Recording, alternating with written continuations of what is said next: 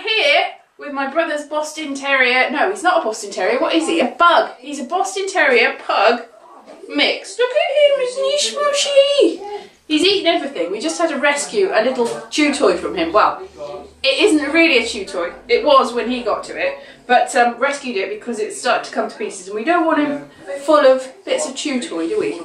So this is a Bugg, Boston Terrier and pug. That's what he is. Isn't he cute? Cutie, cutie, cute. You tricks. Whoops. No, no tricks. he, he's just, he's just sort of um, snuggly.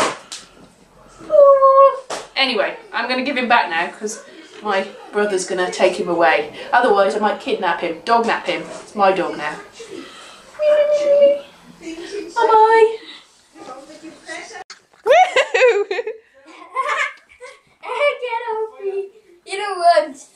I I was in this cardboard box and you know what happened? I thought over and Rufus just started going over my face. I was like, eh.